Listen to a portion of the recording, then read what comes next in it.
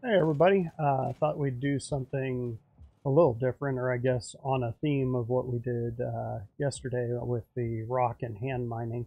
Hopefully this one will be a little bit less disastrous, but I thought that I would uh, show you prospector mining and head out to the Aaron Halo, just kind of show you how to find it.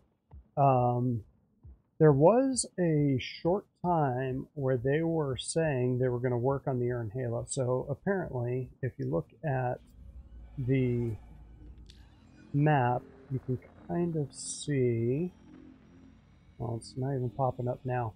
The Aaron Halo lies right in between Crusader's orbit and ArcCorp's orbit, so it basically separates Hurston and Crusader from ArcCorp and Microtech.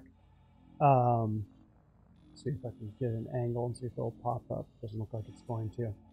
Uh, and in theory, it is so dense that you can't fly through it.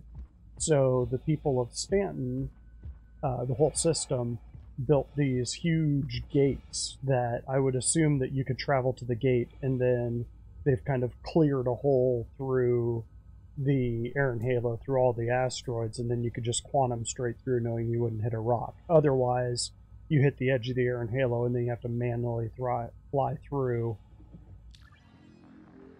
this much space, which is large uh, because there's a reason they call it space. Uh, but that hasn't happened yet, so right now it's just kind of this random area where asteroids spawn. Um, and one of the good things about it is that it spawns a lot of Quantanium. So that is what we're going to be doing today. So this is my prospector here. Um, I set mine up a little differently than most people, I think. Uh, I always go with all grade A stealth components, and I'm not even sure that's in the game to the point where it's effective yet, but it gives me peace of mind that in theory my signature is a little less detectable by other ships, so if they're not picking me up at 5,000, then I'm a little safer than the regular prospector that pulling a name out of the has being picked up at 7 to 10,000. So uh, people don't necessarily know where to find you. When you're mining out in the Aaron Halo, it doesn't matter. Somebody would have to be very, very, very lucky to be able to find you. So that's kind of how I have the basic components set up is uh, stealth grade A. Uh, those remain even if your ship's blown up, uh, as does your mining laser, which I run a Lancet. That's pretty common. The place where I'm a little different, and I'll have to look at this, uh, I run the FTC XL. I think it's an FTC XL, something like that. It gives you a big, when you break the rock, it gives you less um, inert materials, and so you get a lot more bang for your buck when you break the rock. I have another one that lowers the resistance of the rock, and another one that expands the window that you can break.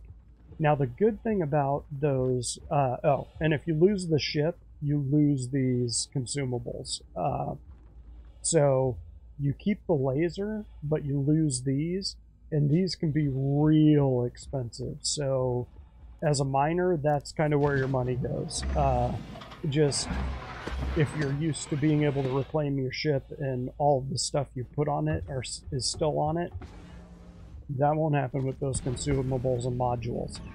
Um, your laser will stick, but those modules won't. And those modules are real pricey, but you kind of need them to do Quantanium mining. If you're not doing Quantanium mining, not as big a deal. I'm sure I got everything on. Now, I like to set up this a little differently. Do Yeah, it's trying to grab the thing. This is new, this patch, you can't actually touch these because it's trying to touch a button. Let's see if I tilt my head sideways. Nah, it's a. Not a big deal. Um, I'll usually have my, I'll have like, um, my self status, the enemy status, comms, and then shields. Shields especially just so that I know where I'm at, um, especially if something blows up on me. Um, this this will work. It's not a big deal. I can just look up if I need to see that information. So the most important part of getting to the Aaron Halo, right now we're in Vicious Dream, uh, which is right here by Crusader. And what we're going to aim for is Arc L3. And you can see that this is, if we were going to travel that entire distance, um, it's 347 fuel. We're not going to do that. We're going to go roughly about here. It's going to be about 6 million, um, 6 million K. So, Derpsy, it's back behind us, so we'll take off, put our gear up, and we'll get going. Uh, another thing I do is I pull the guns on this, which also helps with my signature, because if you are fighting in a prospector, you are definitely doing it wrong. Uh, a prospector, even if you put good guns on it, like a Badger or something like that, it's not going to make a difference. You're you're not going to be able to take out someone that's flying even a basic con combat ship, like somebody running an Aurora Legionnaire, which is the combat version. Um, yeah, you're not going to do anything. So you can see Ark L3, which is ostensibly where we're going, is 18 million away. We're only going 6 million. So this is one of those things where you kind of need to pay attention. So when we hit around 12 million, we're going to drop out and we're going to see what's going on. So let's go.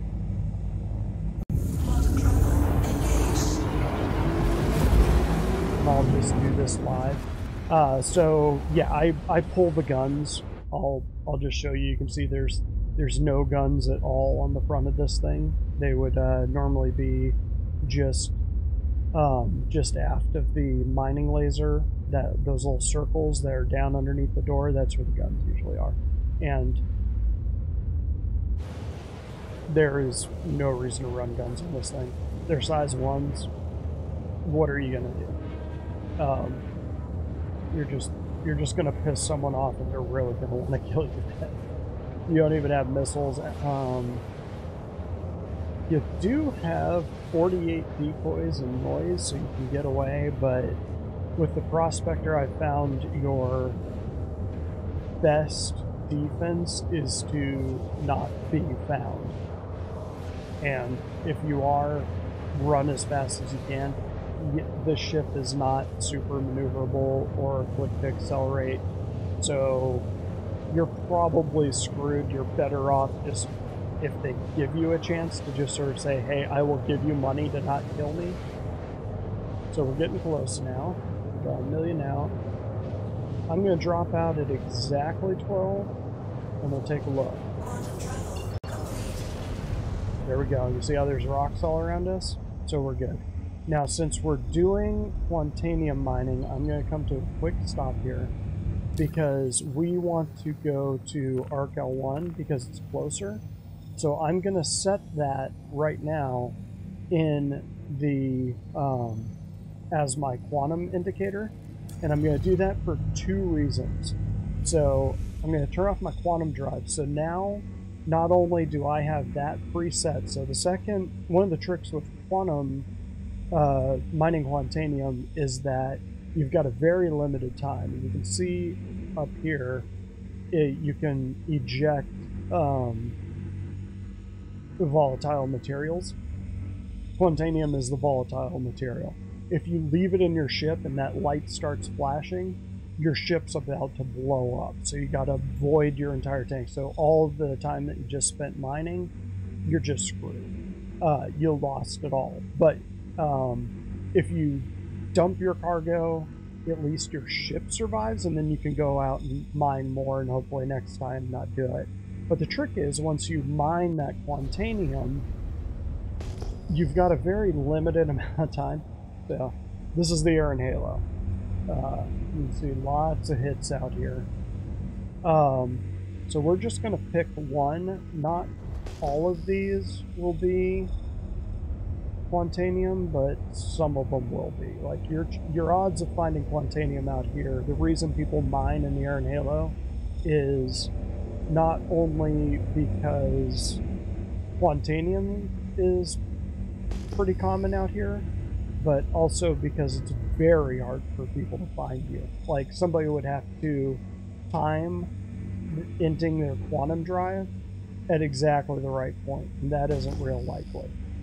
Um, but anyway, so once you mine the Quantanium, a timer starts ticking down, and then you've got a very limited amount of time to get back to the refinery and start refining the goods before it blows up. So I put the uh, quantum location, which you can see right there, in ahead of time. And that helps me in two ways that I don't have to go into the map, set the map location, and then spool up and do it. I can just, I, I know where it is, and I can just head there. Um, the other advantage is that you can see that there's no landmarks. We're in, we're in space. So if I didn't have that marker there, I wouldn't know the direction that I came from. So this way I can travel in a single direction, kind of that away, and keep that at my back. And I know that I'm not covering rocks that I've already seen. So we're going to scan this.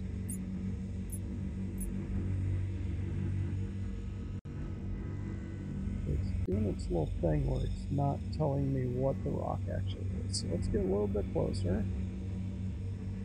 And already purple. So in theory, I could just mine this as is. I don't trust that at all. Let's rescan.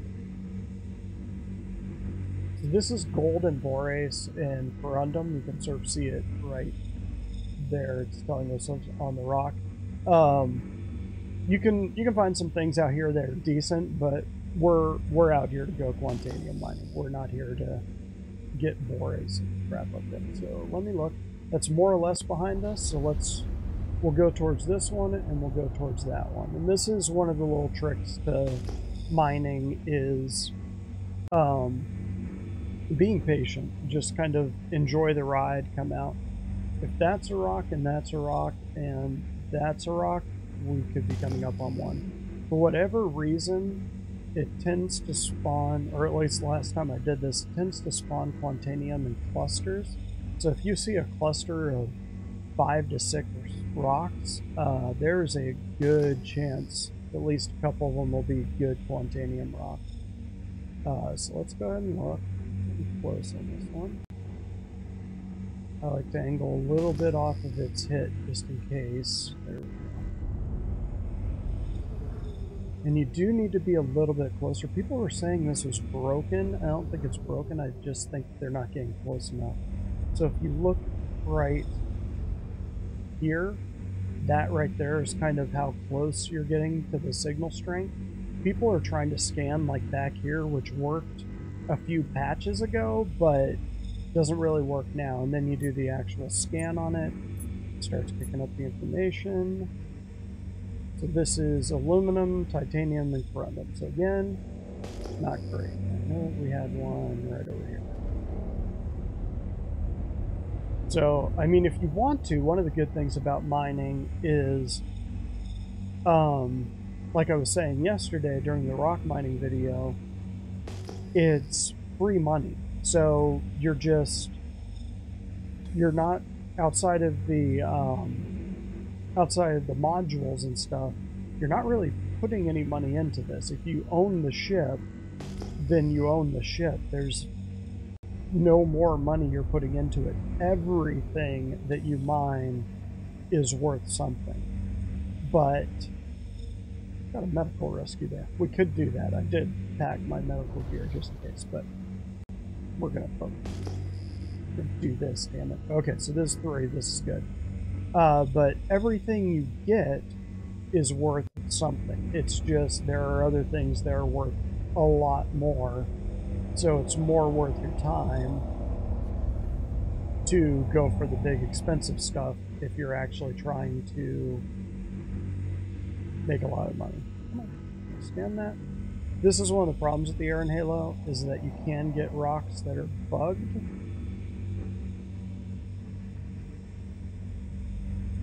like these where you can't scan them. And usually at least what it used to do, that would mean that somebody else had already scanned them. Yeah, so it's not even trying to scan them. Sometimes you can get around that by uh, mining and looking at it. And then hitting it with a laser for whatever reason. Sometimes that works.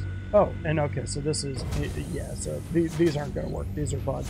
Uh, when you come across rocks that you can't scan, generally just leave them and go to the next one. There's odds that they were something incredible, but you're not going to be able to scan them, you're not going to be able to break them. Move on. Uh, there's lots of rocks in the Aaron Halo. So these are my modules right here. These are the ones that I run. So uh, this one filters inert materials. This one lowers resistance. And this one raises the optimal window. I think this ups the instability, which does make it a little bit harder, but now this curtain point doesn't matter. Sure that's my back. It is. Okay, let's go buy these guys. Alright, on to the next one. See, we've got a few above us, but let's just keep going. Um, it's all kind of relative. So you just kind of go in a straight line. Oh, hang on. Those are the ones. Those are the ones that we just saw. Okay. And I'm not sure if there's a workaround on that no scan thing. There didn't used to be. Um, usually, things you can try are shutting your engines on and off. Sometimes that does the trick for some of these things. Never worked for this particular bug. Um, but again, someone might have come up with a workaround since the last time I mined. Rolling up on this. Again, this is looking like a three. I think it's these three right up here. It's six we could be in business. We got another one over there that we can hit.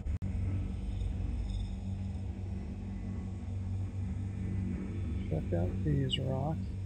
And again, mining is one of those things where it helps to be patient. Um, knowing what you're looking for is important, the right rocks, but it's also important to just kind of say, you know, that rock, it's good, it's got like 2% Quantanium, but I think I could find a better one. And then flying out and trying to find that better rock.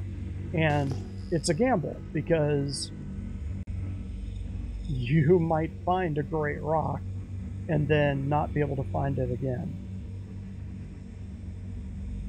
So again, the solo rocks usually means that they're not particularly good, but we will at least check this. Okay, we can scan this one. That's always good. So that one's Hephaestanite and Tungsten. Alright, so what I'm going to do now is uh, do a quick cut. When I find a good cluster of Quantanium, I'll bring you guys back. So, see you in a few. Okay, so we found our first Quantanium rock. So this one is 7.34, which um, not bad. Um, again, I, I haven't gone out prospector mining in a little while, so it could be that they drop the percentages because you can find Quantanium rocks that are upwards of 20%, which is a ridiculous amount of money that you can make off of them.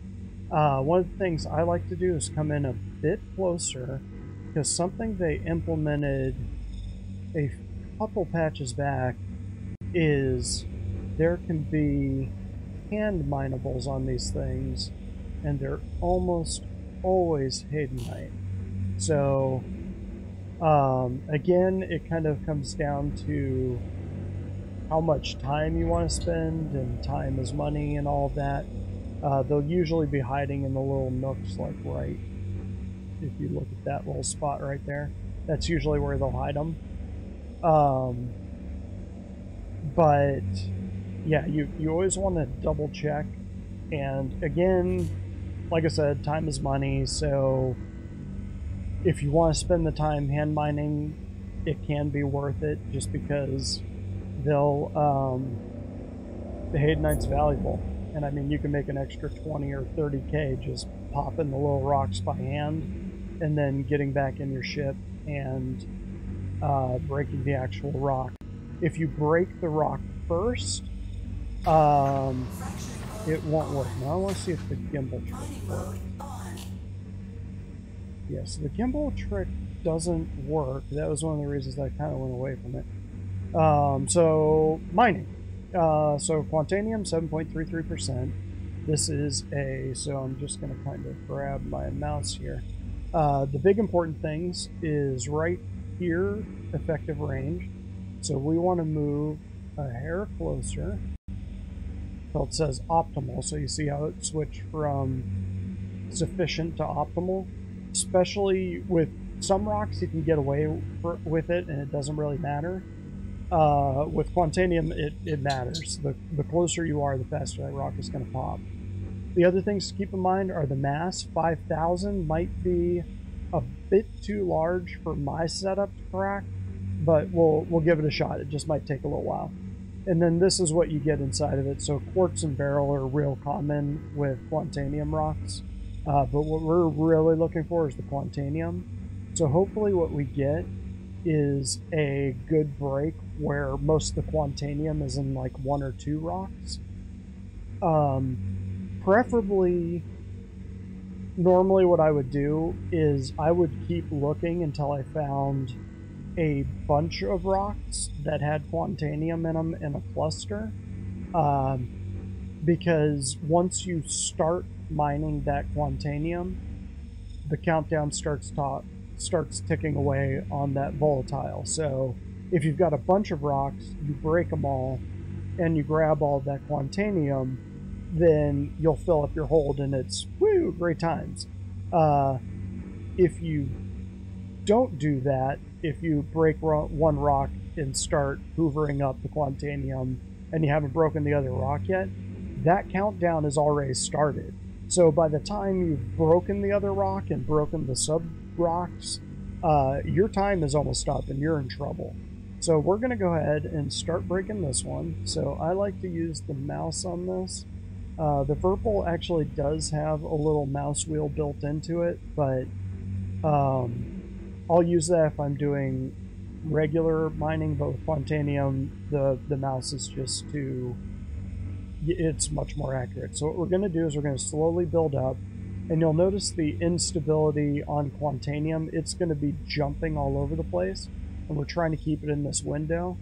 Um, it can be real tedious because it'll, uh, with most rocks, it gradually climbs. You just kind of need to keep an eye on it. When it starts getting up here, there might be a little fluctuation, but not much. Quantanium is real unstable, so you might have it here and all of a sudden and not be touching the dial at all and it'll just start dropping and dropping and dropping and dropping and you could kick it up to 100% and it'll just stay down here and then all of a sudden it'll start leaping back up so hopefully we'll see some of oh actually hopefully we won't see any of that because I'd like to have kind of an easy ride on this so I'm going to start picking this up so what we're trying to see yeah, so we've already got climbing on this, so that's that's good. That means that we have enough energy to impact this rock at all.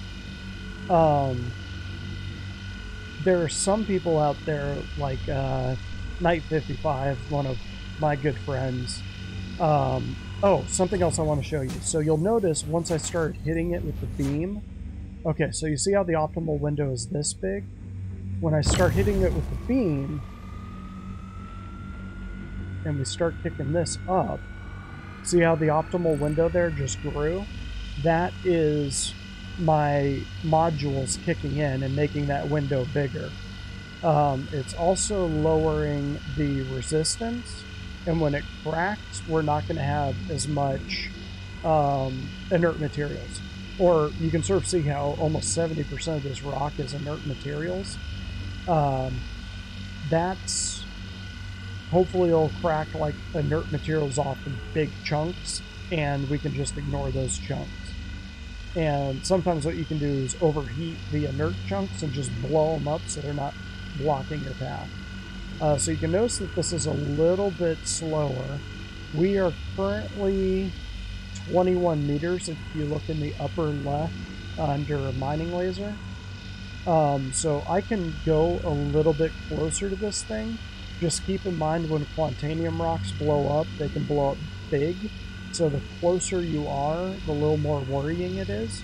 Uh, one thing I can do now is see if my key bindings are still set.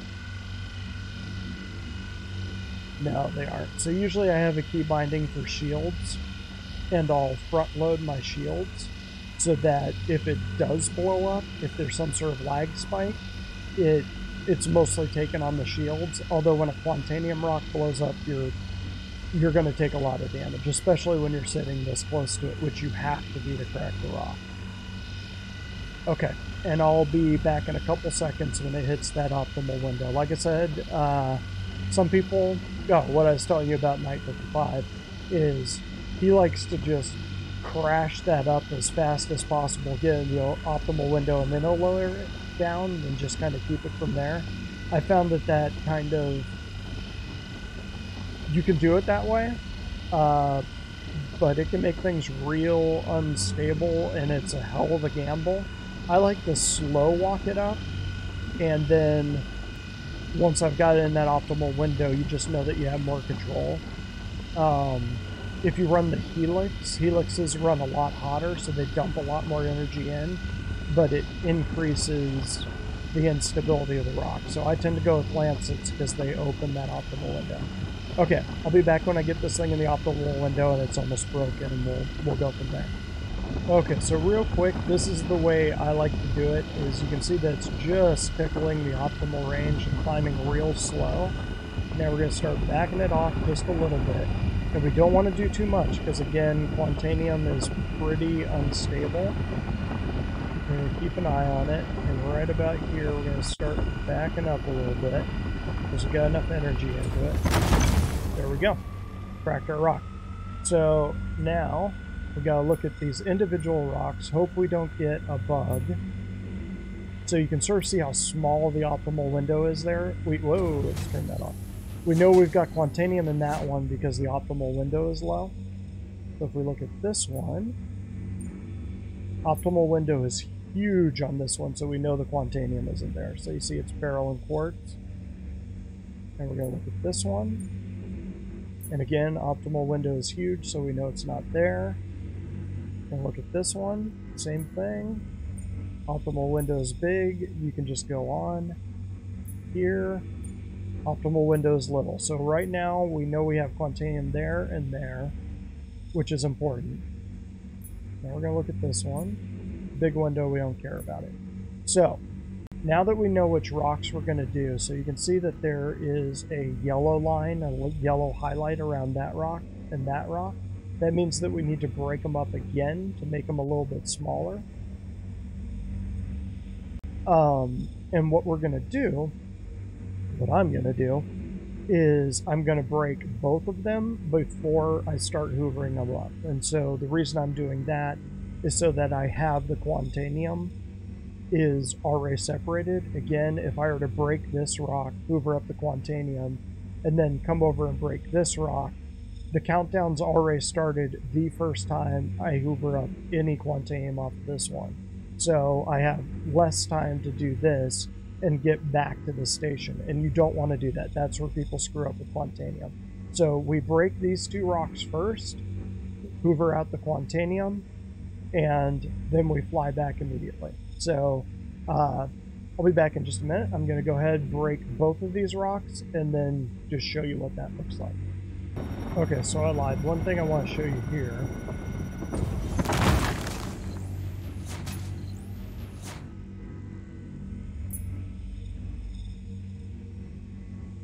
Okay, so one thing I like to do is look at these rocks after I break them, just because sometimes they'll bug and you won't know which rocks are actually the valuable ones. Like it'll do that scanning bug on these. I think they fixed that, but um, I'm I'm mostly doing this the way that I used to do it. Is there another rock behind that, or is that just shadow? I think that's just shadow. So that one's almost 50% quantanium. It's 274 mass, which it's not a lot of quantanium, but like again, it, it's money. So I even a little bit of quantanium is valuable. That one, I wouldn't say it's useless, but you wouldn't want to hoover it. Uh, something I'll do is after I grab the quantanium, I will sometimes grab everything else just to fill my hold. Uh, just to kind of... Okay, so you can see that one isn't scanning. Let's move a little closer. So, good thing I did. So that one's 25% quantanium. So our valuable rocks are this one and that one. Those are the two that we want. Um, so now we're going to break the second one. So this one I'm going to do live just so that you can sort of see the process of breaking up the rock. Um, and again, you'll get an idea for it's it's Zen-like, but you'll see Quantanium is a lot more unstable. Again, if you have not mined before, Quantanium is not the rock to start with. So you can see how it's going up, but how it's going up and down. So the two things you want to uh, sort of keep your eye on, laser intensity over on the left side is how much energy you're dumping into the rock. Obviously, you probably know that. And the charge level is where you want to get it. And again, I like to slow walk it. Some people just like to punch it into the optimal as fast as possible, and I find it's a little bit harder to get the rock back under control that way. And plus, this way, I know, for example, at 25% is the slow climb. If I were just to kick it up to 100%, I wouldn't know that 25% was kind of my target number. So now we're getting close to the optimal. Now it's tickling. Now I need to back off and wait for it to drop a little bit. Now it's dropping too fast. Now I kick it back up. Now it's raising a little bit too fast, so I'm going to back it off. And we're seeing about the middle. I just kind of want to keep... So you see, it does that. So, um, again, this can overheat very quickly, so better to just kind of start from scratch. So again, I know that 24 is sort of my golden spot. We had a little bit of a lag spike there, which is worrying. Or it might have just been... So that's not a bad one. There we go. So we've got them all broken now. So now we need to figure out which ones are our good rocks. This one is not scanning. Sometimes when they're moving, it won't scan them. Um, there we go. Flag issue.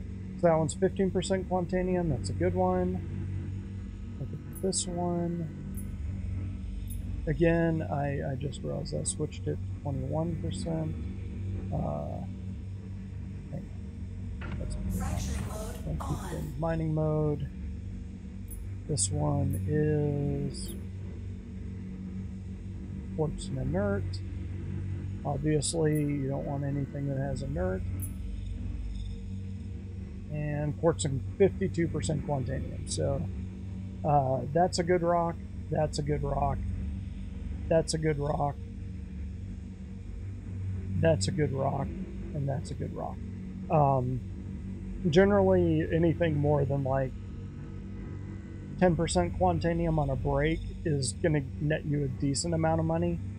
Um, so let's go ahead and start hoovering. We're gonna switch over to extraction mode. Very important.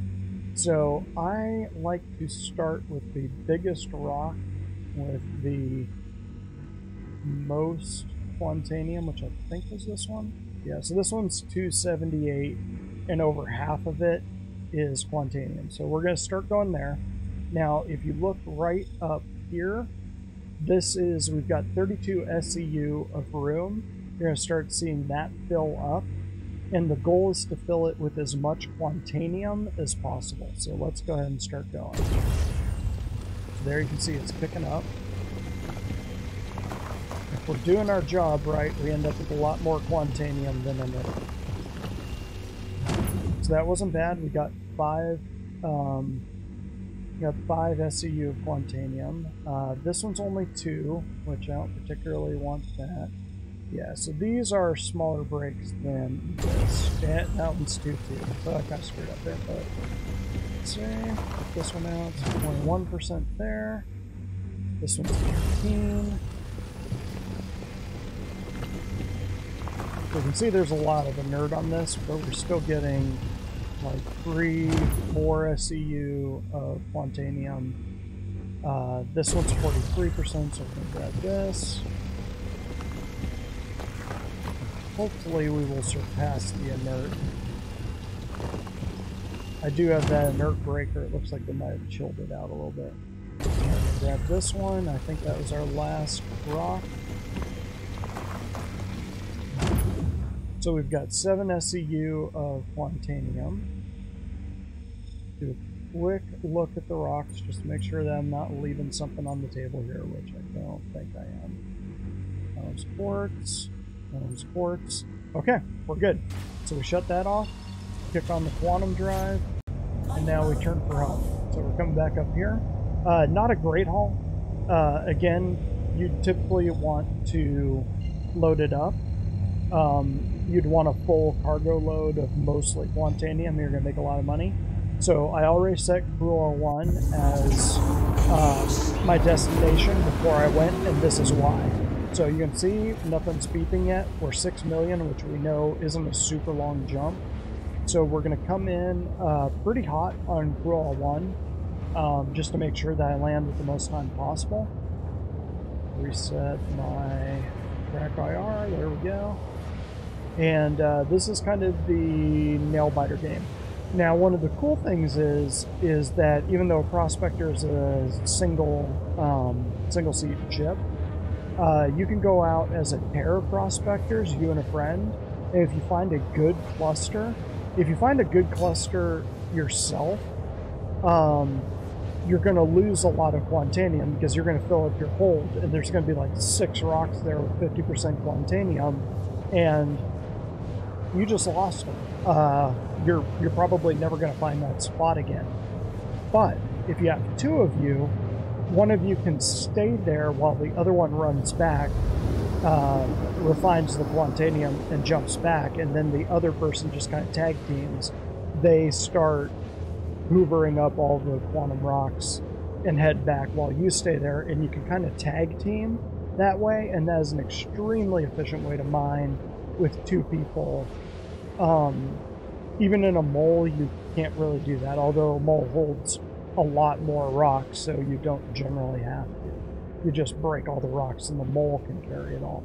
Uh, but if you've just got prospectors, you just rented them. Well, if you rent them, the regular laser is not what you'd want to use. Um, Lancet is generally what I use. But yeah, if you've got two two people prospectors tag teaming a cluster of rocks, you're going to have a good day. Okay, here we are. We're coming up on uh, Quilla 1.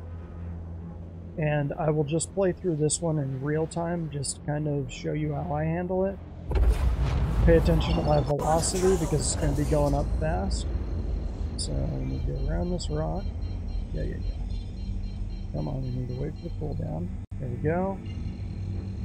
Get that up. Again, I have a grade A stealth jump drive, so it kicks things up. Now I'm going to kick my velocity all the way up.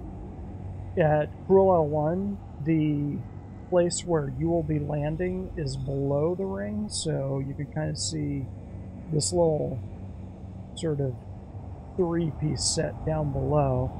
Uh, do remember that prospectors are not the most agile chips in the verse. Uh, don't panic at this point. Um, so you can see that I kick my velocity back down once I cross the threshold. Uh, there's there's a good reason for that. And I believe we got another person here. A Pisces. Okay, so that's just someone running box missions. So there's our ATC.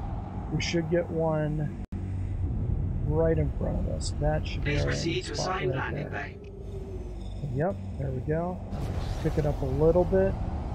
Um, just remember the prospector isn't super maneuverable. It won't stop on a dime. So if you're going full speed here, you're going to overshoot the whole station. You're going to have to come back and kill yourself some time. So uh, again, with um, time's money, and it's it's a real dangerous game. So better to nail it right the first time. I generally don't go VTOL when I'm coming into a station because you want forward momentum to be better. Uh, the engines on the Prospector actually rotate down. So here we're coming in for a nice landing. Make sure that I'm actually within the pad so that we can store. There we go. Bring it down. Don't bring it down too hard. That is a trick. And we're down. One thing I like to do real quick is just make sure my gear is down because Landing they complete. Have a pleasant stay. wait for that. Once you hear that, so now we're going to go out. So, um, yeah, again, at this point, this can be a little bit of a dangerous game in the current patch because you can die running upstairs, you can be crushed by the elevator, uh, all sorts of things can go wrong. So I kind of. This is a real iffy patch to do mining in. Okay, did you hear that little sound like a little cricket noise? That is the warning coming on that we're we're running out of time. So what I would suggest doing, at least in 371, I would assume that in 372 they've got this pu- punched. Okay, elevator's called. I'm going to back off because sometimes the elevator comes through the room and it'll actually push you through the floor. And then you're going to be in the geometry of the station and you're just screwed. Uh, your ship's going to blow up. You can't do anything. You're going to respawn at the regular place. You're just screwed. Um, this is kind of the nail biting part, especially if you're pushing it, because waiting on this elevator and then getting back to the lobby is going to eat some time. So, yeah. Good time to eat your nails. Uh, so, again, like I did yesterday when I landed uh, during the rock mining example, the second we get in here, we're going to store our ship, and that's pretty important. So, that stops the clock. I don't know if that'll always be the case. I would be surprised if it is, but if it is, then uh, it's a good way to stop the clock. So we're going to run up here. Welcome to the ASOP vehicle retrieval This is system. all working. Come down, look at our prospector, which is a miss. Of course, it's a ways down. So, looking for this one right here. Store, make sure I'm not blocking it. Wait and make sure it actually stores it.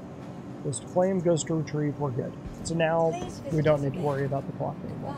So we don't need to run anymore and blow our blow our water reserves. We can just kind of walk at a sedate path. Moonwalkers. Um, so I guess while we're going down to the refinery, uh, I'm going to talk a little bit about where I think mining is heading next. So right now, there's not really a need for the mole. I'm hoping what they do because you can you can break the same rocks with the prospector, especially a prospector with um, with the right setup, especially if you've got the consumables, which I'll show you when we get to the refinery store. Um, they've got consumables in this one where you can lower the resistance of rocks and everything else. So we're going to the refinery. And again, you've got to be at the L1 stations in order to refine stuff. Or I think any of the Lagrange stations, but especially the L1s, are their refinery stations. But anyway, there's not really a reason to fly a mole right now unless you just want to tool around with a couple friends in a single ship and mine. And you want to be in a single ship, you can only do that in a mole. Um, it's more efficient to do it in two prospectors right now. Uh, what I'm thinking they're going to have to do is have rocks that are enormous. So right now you kind of have these house-sized rocks that the prospector can break. Uh, you're going to have to have building size rocks that only three lasers, three size two lasers, uh, lasers on the prospector size one, lasers on the molar size two. They're going to need at least two size two lasers to break those rocks. Um, and if they do that, then the mole has a purpose because prospectors, even if they have fully kitted out and they've got like six of them charging rock, it's it's not going to Someone from accounts, please contact management. Accounts, contact management. Always Thank you. accounts. Their accounts suck. But um, yeah, so let's go to the store first. Uh, finish off this thought. Uh, so I mean, it's it's kind of a big deal because the mole is kind of useless right now. I mean, you can take it out, but and it's fun, but there's not really a lot of purpose to it. Let's see, this guy talks to me. Hi, good to have you back. Go pop your back. See anything Uh, you like? No. Um, I am going to grab some water while I'm here. Uh, but this is going to really start mattering when you have something like the, um, like the Orion, because the Orion is a capital class ship. So you better have, you better have rocks that are enormous at that stage that only the Orion can have it. Because I mean, if it's something that you can do, nope, nope, not that one. This one. If you have rocks that can be broken by a bunch of prospectors, people are just going to take the prospectors out because there's less to risk. Um, another thing that I hope they do, especially with the mole, and maybe the prospector too, just to kind of We just got a few new items in, so um, make sure to check them out. move away from him so he stops talking to us. Um, to make once once they implement that to make the mole or the prospector relevant, because the Orion will be able to mine those little ships too. Of course, not everybody will be able to afford Orion, and that's sort of where the cost benefit goes. But both the mole and the prospector have engines that can VTOL, and the Orion, as far as we know, can't enter atmosphere. Or if it can, it's going to have a hell of a time getting out. And it's not going to be as maneuverable as either the mole or the uh, prospector who have the VTOL. So what I'm hoping they do is actually start implementing mining veins, so you'd actually have a line of rock that once you find it, you can blow it up and just kind of carve out a trench um, of certain types of rocks. And they've been talking about voxel mining and whether they'd be able to do it or not. Uh, they're kind of iffy, uh, but if they could, that would be cool if you just sort of had a little gully there where you mine stuff out, and then over time it just fills up, or if you leave the area, it fills it back up. Um, I just think that would be cool. That's where I hope they're going with it, but we haven't heard anything. Okay, so this is what I mean by mining is the deepest, uh, deepest game loop in the game right now. So these are hand mineable consumables, or not even hand mineable. You can take these, slap them on a rock that you normally wouldn't be able to break, and then adjust it. And each of these, you can sort of see that one has a green screen. That one has. Actually, saying they're both rhymes. Oh no, no rhymes that. Um, actually not letting me select them, but if I go over to the kiosk, I could do it there. Uh, but you can sort of see there's a yellow one, there's a green one, there's a purple one. Uh, they each do different things. They can lower the resistance on the rock. They can expand the optimal window, and I forget what the other one does. Uh, resistance window and yeah, maybe it's the actual break. But if you have a rock that you can't break with like a helix or something like that, you can get out of your prospector, slap one of these on the rock by hand, and then it lowers the resistance of that rock and you can break it that way. So lots of options. It's a very deep game loop. And then you can sort of see that these are the modules. Some of these are consumables that once you use them, none of the ones that I have are consumables.